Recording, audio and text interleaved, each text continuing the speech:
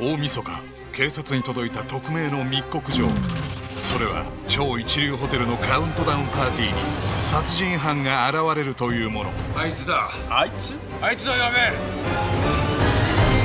べよく似合いますねなんて言ったらぶっ飛ばすからな。人を見抜く天才刑事新田康介いささか真面目すぎるホテルマン山岸直美。またですか。それはこちらのセリフです。参加者は約500名全員が仮装するというのが約束事になっています。全員を容疑者だと思え。仮想のまま動かれたら犯人特定できません。ありがとう。まだホテルをご理解なさっていないようです。凶悪な殺人犯なんです。密告者の目的は何なのか。このホテルは一体どうなってまさに仮面舞踏会だ。客の幸せな時間を一番に考えるのが仕事だろこの8時間が勝負だ。犯人は今日このホテルで人を殺すかもしれません。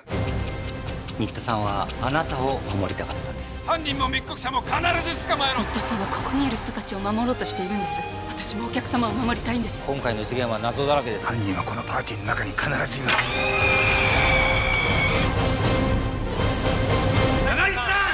マスカレードナイト要件は必ず部屋の前で伝えてください。分かってますって絶対部屋に入ったりしませんから。失礼します。ちょっとよろしいでしょうか？